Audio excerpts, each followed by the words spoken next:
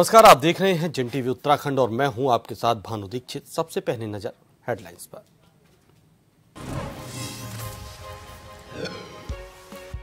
प्रदेश में जन्माष्टमी की धूम, हरिद्वार के कृष्ण मंदिर में भव्य आयोजन, सीएम धामी ने पिथौरागढ़ के समारोह में की शिरकत, बीजेपी नेताओं, कार्यकर्ताओं से किया संवाद।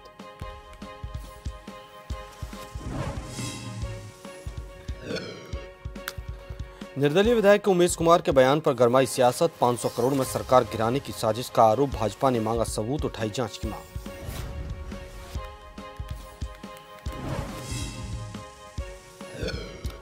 निकाय चुनाव की तैयारियाँ तेज, कांग्रेस नेता ज्योति रौतेला का बयान, टिकटों में महिलाओं को मिले प्राथमिकता, प्रदेशाध्यक्ष से करूँगी अपील।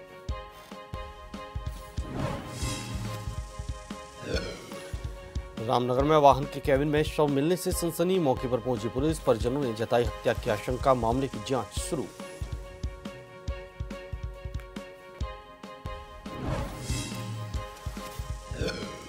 प्रदेश के 10 जिलों में भारी बारिश का अलर्ट। देहरादून में झमाझम बरसात के आसार, ऊधम सिंह नगर और हरिद्वार में हल्की और से मध्यम वर्षा का अनुमान। बद्रीनाथ राष्ट्रीय राजमार्ग मलबा गिरने से बाधित।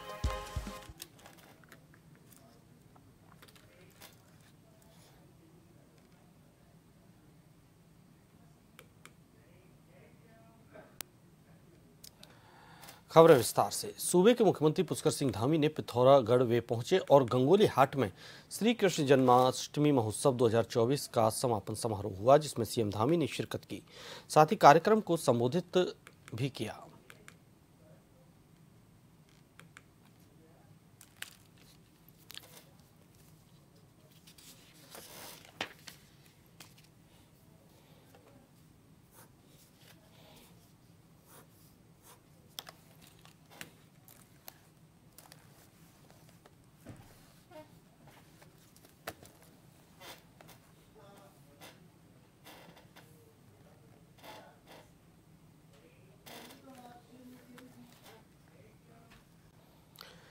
पूरे देश के साथ ही देवभूमि उत्तराखंड में भी कृष्ण जन्माष्टमी का पर्व पारंपरिक उत्साह के साथ मनाया जा रहा है। सभी मंदिरों में आकर्षक साज सज्जा की गई और साथ ही मंदिरों में रंग बिरंगी लाइटें लगाई गई हैं। राजधानी देहरादून में सभी मंदिरों में कृष्ण जन्माष्टमी पर्व पर भक्त विधि विधान से पूजा अर्चना कर रहे हैं। टपकेश्वर महादेव मंदिर के महंत कृष्णानंद गिरी महाराज जी ने कहा कि विधि विधान के साथ सभी लोग पूजा अर्चना करें। रात 12 बजे भगवान कृष्ण का जन्म होगा और जिन लोगों ने व्रत रखा है वो उसके बाद ही अपना व्रत खोलें।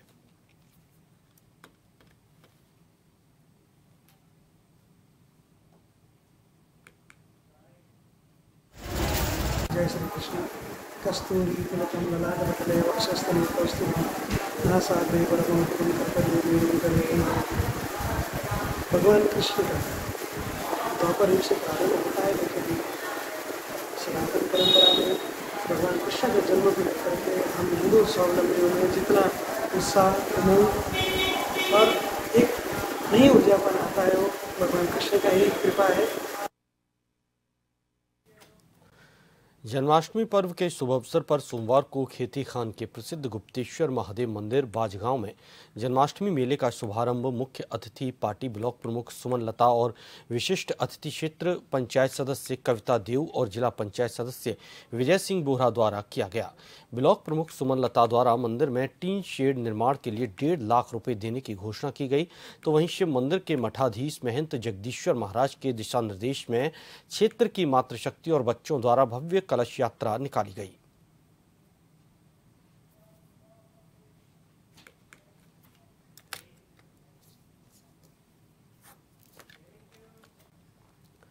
पूर्व मुख्यमंत्री हरीश रावत को लेकर कभी उनके करीबी रहे और वर्तमान में भाजपा सरकार में कैबिनेट मंत्री सुबोध उनियाल ने कटाक्ष किया है। उन्होंने कहा कि हरीश रावत को अब राजनीति से संन्यास लेकर वानप्रस्थ की ओर चला जाना चाहिए। उम्र के लिहाज से उनके दिमाग पर भी अब असर होने लगा है। आज उत्तराखंड में हरीश रावत एक चलती फिरती झूठ की मशीन मात्र बनकर रह गए हैं।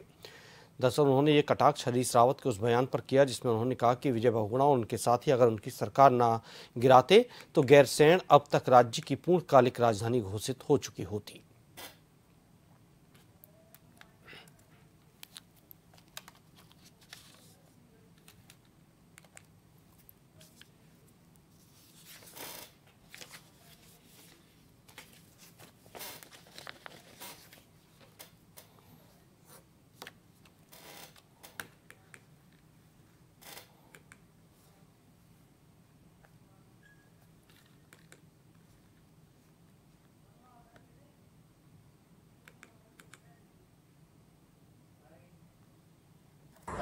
हरीश रावत जी के बयान के बारे में मुझे भी जानकारी मिली। बड़ा आश्चर्य हुआ कि हरीश रावत जैसा वरिष्ठ नेता इस तरह की बातें करें। अरे, हम लोगों को उन्होंने दोषी बताया, लेकिन ये नहीं बताया कि हम लोगों के छोड़ने के एक साल बाद तक वो राज्य के मुख्यमंत्री रहे। आखिर क्यों नहीं उन्होंने गैरसैंण में फैसला लिया?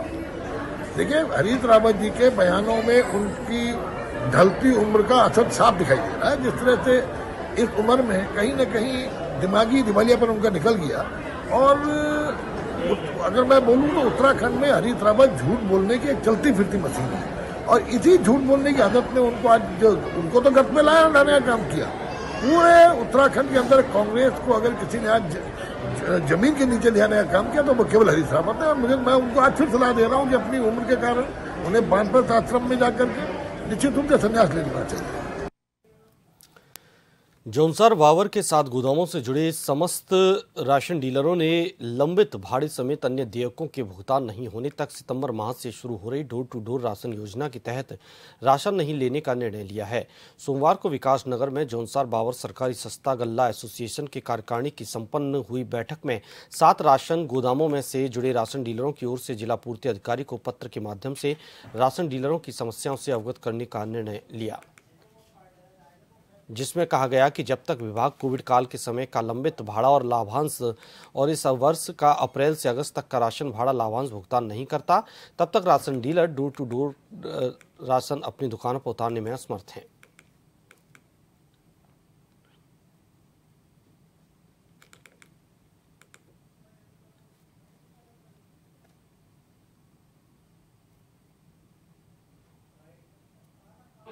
2021-22 में कोविड टाइम में हमने राशन वितरण किया, सात माह का राशन हमने वितरण किया, उसका लाभांश भाड़ा आज तक हमको नहीं दिया गया। हमने कई बार विभाग को अवगत करा दिया, लेकिन विभाग ने इस और कोई गौर नहीं किया। और कि भारत सरकार से पैसा दिया लेकिन हमारा आपसे एक निवेदन है मीडिया के माध्यम से कि भारत सरकार तक ये आवाज़ पहुँचे कि ये पैसा क्यों नहीं जब माननीय मोदी जी भारत सरकार से फ्री का राशन दे रहे जनता को तो क्या विक्रेताओं का भाड़ा और लाभांश नहीं दिया जा रहा? उत्तराखंड में इन दिनों केदारनाथ धाम में सोना चोरी के मामले को लेकर सत्ता पक्ष और विपक्ष के बीच बयानबाजी का दौर लगातार जारी है। एक और जहाँ विपक्ष के नेता 228 किलो सोना चोरी का आरोप लगा रहे हैं तो वहीं सत्ता पक्ष की ओर से इसको लेकर सफ़ाई भी दी जा रही है। प्रदेश के पर्यटन एवं धर्मस्य मंत्री सतपाल महाराज ने कहा कि जब दानदाता ने तेईस किलो सोना दान दिया किया है तो 228 किलो सोना चोरी का मामला कैसे बनता है? उन्होंने कहा कि 23 किलो सोने का हमारे पास पर्ची है। उन्होंने ये भी कहा कि मामले की जानकारी होने के बाद मैंने मंडलायुक्त तो गढ़वाल मंडल से इसकी जाँच करवाई। जाँच रिपोर्ट शासन के पास है और जैसे ही यह हमारे पास आएगी, हम इसे सार्वजनिक कर देंगे।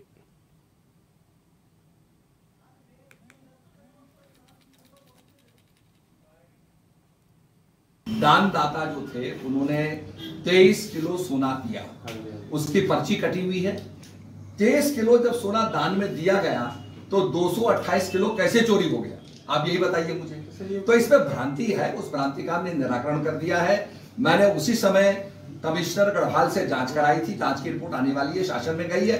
शासन हमें भेज देगा जाँच की रिपोर्ट आपके आगे हम सार्वजनिक कर देंगे। जिस तरह का अनर्गल बयानबाजी सतपाल महाराज कर रहे हैं मैं सतपाल महाराज से पूछना चाहती हूँ कि किस बात के धर्मस्व पर्यटन मंत्री हैं आप? ना आपको आपदा की चिंता रहती है, ना आपको चारधाम व्यवस्थाओं की चिंता रहती है।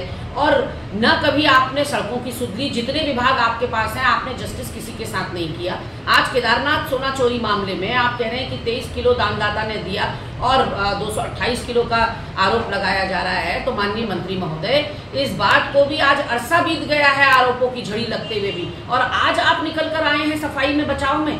तो कहीं ना कहीं वो जो सारे बयान हैं 228 किलो सोना दान देने वाले, वो हमारे द्वारा, कांग्रेस के नेताओं द्वारा नहीं दिए गए थे, वो बीकेटीसी के अध्यक्ष के बयान है। मुख्यमंत्री पुष्कर सिंह धामी के दिशा निर्देश पर उत्तराखंड में अलग अलग क्षेत्र में प्रशासन द्वारा अतिक्रमण मुक्त करवाने की कार्रवाई गतमान है। इसी कड़ी में रामनगर मंडी समिति के बाहर 35 से ज़्यादा लोगों ने अवैध तरीके से अतिक्रमण किया हुआ है, जिनको प्रशासन द्वारा पूर्व में नोटिस भी दिए गए थे। वहीं आप प्रशासन की संयुक्त टीम द्वारा इन पैंतीस से ज़्यादा घरों को हटाने को लेकर मुनादी की कार्रवाई की गई। जानकारी देते हुए रामनगर तहसीलदार कुलदीप पांडे ने बताया कि रामनगर मंडी समिति के बाहर पीडब्ल्यूडी से लगते हुए क्षेत्र में लंबे समय से अतिक्रमण चला हुआ आ रहा है। उन्होंने कहा कि संबंध में पीडब्ल्यूडी द्वारा भी जुलाई में इन अतिक्रमणकारियों को नोटिस दिए गए थे, जिनकी समय अवधि तीस जुलाई को पूर्ण हो गई थी।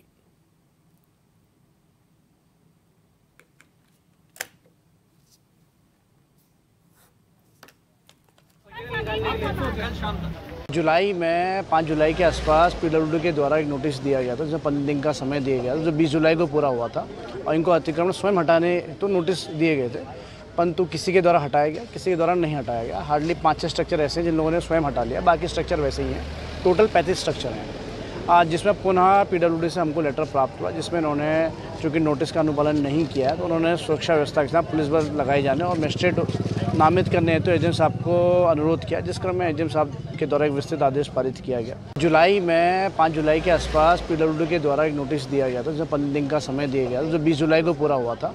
और इनको अतिक्रमण स्वयं हटाने तो नोटिस दिए गए थे, परंतु किसी के द्वारा हटाया गया, किसी के द्वारा नहीं हटाया गया। हार्डली पाँच छः स्ट्रक्चर ऐसे हैं जिन लोगों ने स्वयं हटा लिया, बाकी स्ट्रक्चर वैसे ही हैं।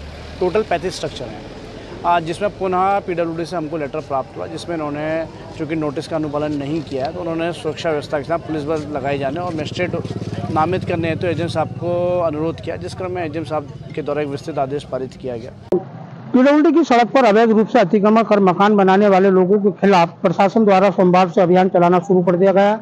तहसीलदार कुलदीप पांडे ने बताया कि मंडी समिति के बाद मुख्य सड़क पीडब्ल्यूडी की सड़क पर 35 लोगों द्वारा लंबे समय से अतिक्रमण कर अपने मकान बना लिए गए थे तो वहीं कुछ अतिक्रमण द्वारा वहाँ पर दुकान खोलकर कारोबार भी शुरू कर दिया गया था। उन्होंने बताया कि पीडब्ल्यूडी द्वारा दिए गए आवेदन के बाद एसडीएम द्वारा बीस जुलाई माह में इन सभी अतिक्रमणकारियों को अपना अतिक्रमण हटाने के नोटिस जारी किए गए तो उन्होंने बताया कि नोटिस के बाद चार से पाँच लोगों द्वारा तो स्वयं अपना अतिक्रमण हटा लिया गया है, लेकिन उसके बाद भी आज भी अतिक्रमण की स्थिति जस की तस बनी हुई है, जिसको लेकर एसडीएम द्वारा इसमें मजिस्ट्रेटों की तैनाती की गई है और उन्होंने बताया कि सोमवार को सभी मजिस्ट्रेट पीडब्ल्यूडी पर राजस्व विभाग के साथ ही पुलिस प्रशासन की संयुक्त टीम ने मौके पर पहुंचकर मौके पर अतिक्रमणकारी जो मिले उनको तुरंत अपना अतिक्रमण हटाने की हिदायत दी तो वही तहसीलदार ने बताया कि यदि आज शाम तक इन्होंने अतिक्रमण मुनादी के बाद नहीं हटाया तो उसके बाद मंगलवार से प्रशासन द्वारा यहाँ से अतिक्रमण हटाने की कार्रवाई की जाएगी। रामनगर से राजीव अग्रवाल के साथ कैमरामैन बनके अरोड़ा, जन टीवी। ब्रेक के बाद आपका स्वागत है। आगे बढ़ते हैं। उत्तराखंड महिला आयोग की अध्यक्ष कुसुम कंडवाल ने रुद्रपुर में रेप एवं हत्या की शिकार हुई महिला नर्स के परिजनों से मुलाकात कर न्याय का भरोसा दिलाया। आयोग ने रुद्रपुर के ग्राम मलसी में मौलवी पर दुष्कर्म पीड़ित, मौलवी द्वारा दुष्कर्म पीड़ित बच्चियों के परिजनों से मुलाकात कर आरोपी मौलवी को सख्त सजा दिलाने का आश्वासन दिया।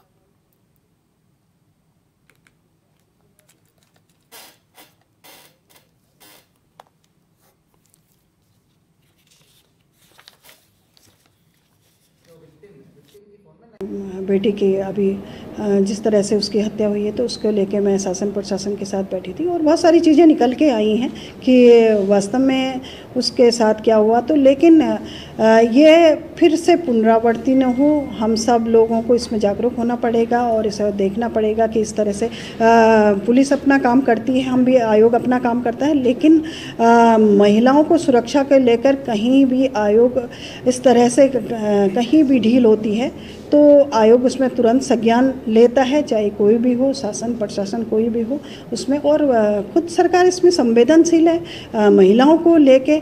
और दूसरा मैं जो ये कहती हूँ कि अभी जो हमारे पास अभी एक मौलवी वाला आया कि मदरसे में जो छोटी छोटी हमारी बच्चियाँ थी, उनके साथ किस तरह से किस तरह की एक्टिविटीज़ होती थी, किस तरह का कृत्य वो करते थे तो ये चीज़ें सहनशील नहीं है। इन्हें तो ऐसे अराजक तत्व वो किसी भी भी समाज के हों, वो वो सहन करने लायक नहीं, उन्हें कठोर से कठोर सजा मिलनी चाहिए।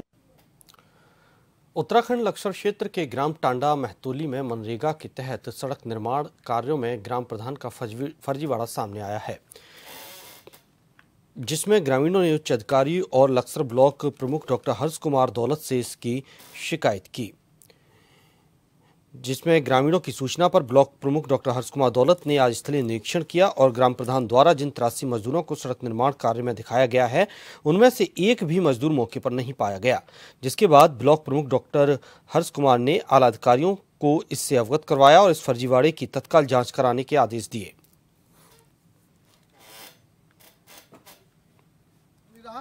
पूरा आज हम लोग जिस प्रकार जहाँ हम लोग इस लोकेशन पर खड़े हैं के खेत से पिन के खेत की ओर सर्वमौसम सड़क का निर्माण किया जा रहा है। ये हमारे संबंधित सभी ग्रामवासी हमारे साथ उपस्थित हैं। उसके साथ साथ अभी हमने जब धरातल पर देखा आज उन्होंने इस आप विजुअल में ले सकते हैं आप इसे। इसमें आज इन्होंने आज बाईस मजदूर आप दिखाए हैं। जो ये है जो आप मनरेगा की साइट है उस पर आप जाके देख सकते हैं। लेकिन उसमें 22 मजदूर दिखाए हैं। इन सभी का कहना है सुबह से या तीन चार दिन से अभी आज तक कोई मजदूर यहाँ पर नहीं लगा। देखिए गाँव लोग जो रोज शिकायत हो रही थी तो शिकायत अधिकारी तो कुछ सुन नहीं पा रहा था। हमारे जो प्रमुख साहब है लक्सर ब्लॉक के वो उन्होंने इस चीज़ को संज्ञान में लेते हुए और उन्होंने अपना समय निकाल के किन्नी समय निकाल के और साइड पर आए। साइड पर रोज तकरीबन आठ दस दिन से रोज मजदूर दिखाई जा रहे थे लेकिन यहाँ कोई भी मजदूर नहीं है। मौके पहुँचे तो मौके पे भी मजदूर नहीं कोई कार्य नहीं है। प्रधान को मौके बुलाया गया तो प्रधान यहाँ से बिना जवाब दो और पीछे से पीछे ही लौट गया। यानी कि एक भागने वाली जैसी स्थिति प्रधान की हो गई है, क्योंकि जवाब नहीं दे पाया। और यहाँ पे जितना भी कार्य करा जा रहा है, वो सब नंबर दो में है। उत्तराखंड में बढ़ती हुई हत्या और बलात्कार की घटनाओं पर एमआईएम के प्रदेश अध्यक्ष के नेतृत्व में रुड़की में कैंडल मार्च निकाला गया। इस दौरान उत्तराखंड सरकार के नाम एक ज्ञापन भी दिया गया। एमआईएम के प्रदेश अध्यक्ष डॉक्टर नैयर काजमी ने कहा कि प्रदेश में अब अपराधों का बोलबाला है और सरकार को इन घटनाओं पर अंकुश लगाना चाहिए। इस मांग को लेकर शांतिपूर्ण कैंडल मार्च निकाला गया।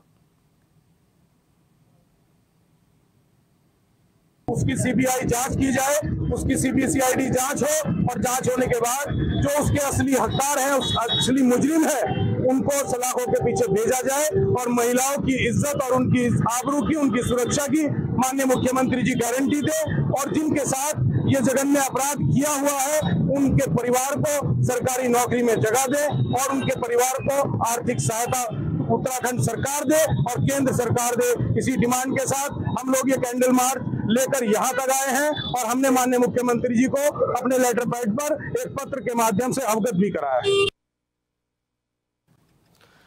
खानपुर से निर्दलीय विधायक उमेश कुमार शर्मा ने सदन में बयान देकर सियासी हलकों में गर्माहट पैदा कर दी। उमेश कुमार शर्मा ने सदन में बयान दिया कि गुप्ता बंधुओं द्वारा सरकार को गिराने के लिए 500 करोड़ खर्च करना चाहती है।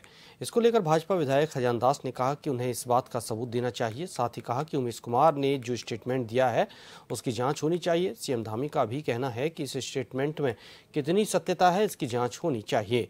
वहीं प्रदेश प्रवक्ता गर्मा दासोनी ने कहा कि सरकार को गिराने की साजिश चल रही है और इंटेलिजेंस को पता नहीं है कि कहाँ यह एक गैर जिम्मेदारा बयान इसको बताया। ये जो मामला है अगर ऐसा कोई उनके पास साक्ष्य है तो वो सबूत दें। किसी की हिम्मत नहीं है। हम इस समय छियालीस मेंबर्स हैं, सदन में भारतीय जनता पार्टी के। और जिनका नेतृत्व माननीय पुष्कर सिंह धामी जी कर रहे हैं। तो इस तरह का स्टेटमेंट उन्होंने दिया है। तो क्यों दिया है? कैसे दिया है? क्या उनको कोई भनक लगी है? क्या उनके पास कोई इस प्रकार की सबूत है? तो आप लोगों को पता है, और मैं ये भी कहना चाहूँगा विशेषकर कि आप लोग उन्हीं से पूछ लीजिएगा कि कौन ऐसा तत्व है कि जो सरकार गिराने की कोशिश कर रहा है। देखिए, एक निर्दलीय विधायक ने गैरसैन में सत्र के दौरान सदन में खड़े होकर एक आरोप लगाया जो कि बहुत ही अटपटा अजीबो गरीब संवेदनहीन और गैर जिम्मेदाराना बयान दिखाई पड़ता है। सबसे बड़ी बात ये कि सरकार धामी जी की गिर रही है और दर्द जो है एक निर्दलीय विधायक को उठ रहा है। दूसरी बात ये कि सरकार जिसके पास तमाम खुफिया एजेंसीज होती हैं, उनको सरकार गिरने की सुगबुगाहट नहीं मिल रही है। एक निर्दलीय विधायक के पास इतने इंतज़ाम हैं कि उनको पता चल रहा है कि 500 करोड़ के इन्वॉल्वमेंट से सरकार गिर रही है। तीसरी बात ये कि कहीं ना कहीं एक गंभीर आरोप उन्होंने भाजपा के विधायकों पर लगा दिया कि भाजपा के विधायक गोया बिकाऊ हो सेल पर लगे हों, जो 500 करोड़ लाएगा और विधायक उधर चल देंगे, कोई भी सरकार तभी गिरने की आशंका जताई जाती है जब विधायक पाला बदले। और सीधे सीधे उमेश कुमार का आरोप तो भाजपा विधायकों के लिए है कि 500 करोड़ का उपयोग करके कोई भी विधायकों को यहाँ खरीद फरोख सकता है।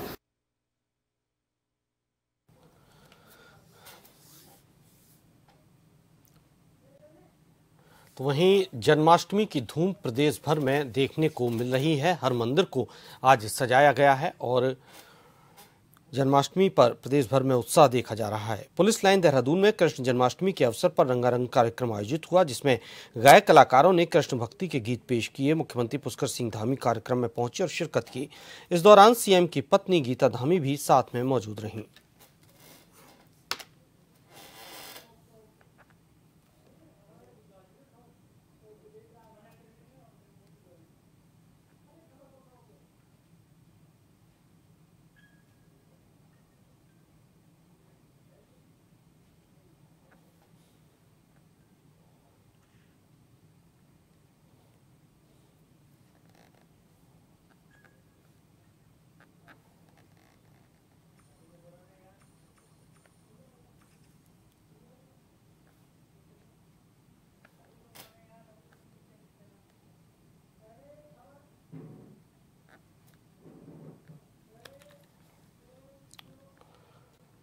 उत्तराखंड महिला कांग्रेस की प्रदेश अध्यक्ष ज्योति रौतेला ने निकाय चुनाव में महिला कांग्रेस कार्यकर्ताओं को प्राथमिकता देने की पैरवी की है।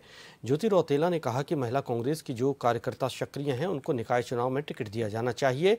इसके लिए वो प्रदेश अध्यक्ष करण महाराज से अपील करेंगे। हालाँकि ज्योति रौतेला ने कहा कि प्रदेश सरकार निकाय चुनाव को और अधिक आगे बढ़ाना चाहती है। अभी तक ओबीसी आरक्षण को लेकर स्थिति साफ़ नहीं है। इस मामले में विधानसभा की प्रवर समिति को रिपोर्ट तैयार करने के लिए कहा गया है।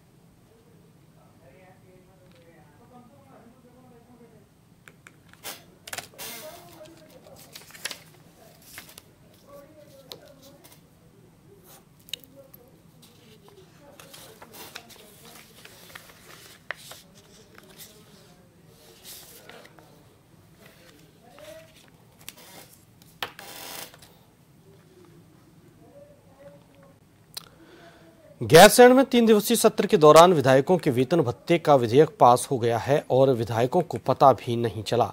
इस मसले पर कोई बोलने के लिए तैयार नहीं है कि कितनी वेतन में वृद्धि की गई है और कितनी भत्तों में। हालाँकि पूर्व विधायक और पूर्व पीसीसी चीफ रहे गणेश गोदियाल ने कहा कि ये विधानसभा अध्यक्ष को पत्र लिखेंगे और बढ़े हुए वेतन और भत्ते को नहीं लेंगे। क्योंकि प्रदेश में लोग आपदा से परेशान हैं तो वहीं इस मामले पर कांग्रेस, बीजेपी विधायक ने भी अपनी प्रतिक्रिया दी है।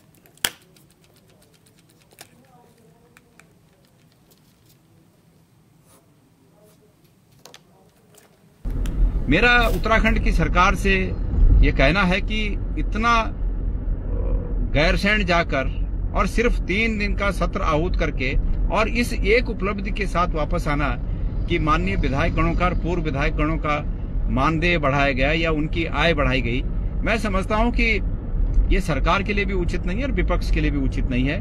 और जिस तरह से मेरे पूर्व विधायक, मेरे पूर्व अध्यक्ष गणेश गोदयाल जी ने एक नई पहल की है उसकी मैं सराहना करना चाहती हूँ कि एक आपदाओं से ग्रस्त प्रदेश, जहाँ संविदा कर्मी नियमितीकरण की मांग को लेकर बैठे हों, आपदा प्रभावित जो हैं, अपने पुनर्वास या पुनर्स्थापन के लिए बाट जो रहे हों, वहाँ आप लगातार हर छः महीने में विधायकों का और पूर्व विधायकों का जिस तरह से भत्ता और वेतन बढ़ाते हैं, वो कहीं ना कहीं ऐसा लगता है कि जैसे आप आम जनता जो बेरोजगारी के दंश से परेशान है, उसको मुँह चिराने का काम कर रहे हैं। विधायक लोगों ने कहा कि सभी का वेतन भत्ता बढ़ना चाहिए, परंतु अभी तक ये क्लियर भी नहीं हो पाया है कि कितना बढ़ा, कितना नहीं बढ़ा।